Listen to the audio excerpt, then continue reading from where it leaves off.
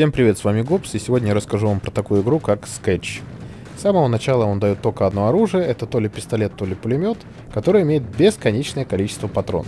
Изначально некоторые противники вообще безобидные, они тебя в принципе не замечают, такие как зомби, потом они уже начинают более агрессивные, агрессивные и так далее. Есть противники, похожие на кака-демонов, есть противники, которые похожи на кибердемонов.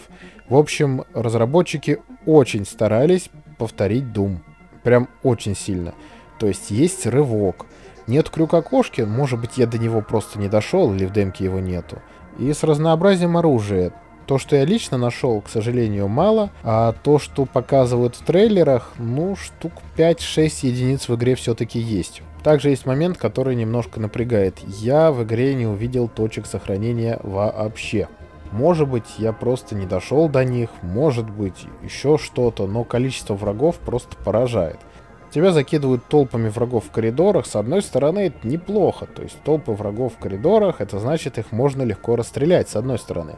С другой стороны, их настолько много, что иногда ты банально не видишь, откуда по тебе стреляют. То есть ты мог начать воевать там с одной толпой, а оказывается где-то жопы появились другие. Вот это на самом деле частая проблема в этой игре. Я стартовал первый уровень ну, раз 12, наверное, точно, чтобы пройти чуть дальше. И, тем не менее, пройти я смог, но вопросов много. Плюс ко всему в игре есть очки, которые подсчитываются в конце уровня. В целом, можно сказать, что проект неплохой, но уж очень сильно пытается быть похожим на Doom.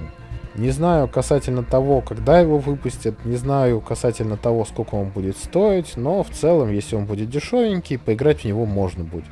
Ну а на сегодня это все. Подписывайтесь на канал, ставьте лайки, дизлайки, пишите комментарии, я все читаю. Ну и, конечно, не забываем самое главное. Пьяный гоблин должен оставаться пьяным всегда. До свидания.